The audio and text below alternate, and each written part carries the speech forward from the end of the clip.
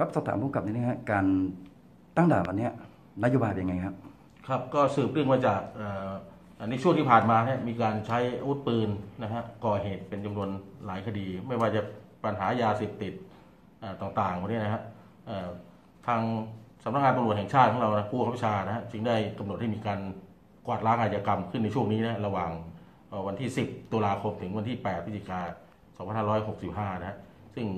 ได้มีการระดมกวาดล้าง อ่อยางกรรมทั่วประเภทนะไม่ว่าจะเป็นหมายจับครั้งเก่า ไม่ว่าจะเป็นยาเสพติดอาวุธปืนต่างๆ เพื่อความสงบสุขของของประชาชนของเรานะฮะจึงได้มีการปล่อยแถวระดมกวาดล้างอาชญากรรมขึ้นในวันนี้เนะเอ่อแล้วก็มีการตั้งจุดตรวจจุดสกัดทั่วบริเวณในพื้นที่นะครับอันนี้มีความเข้มเข้มยังไงฮะเน้นทางด้านด้านอะไรบ้างฮะทางผู้กำกับ คือในในส่วนของด่านของเราก็มีการ ตั้งตลอด 24 ชั่วโมงนะจะหมุนหมุนกันไปสับกันไปฮะโดยการตรวจค้นผู้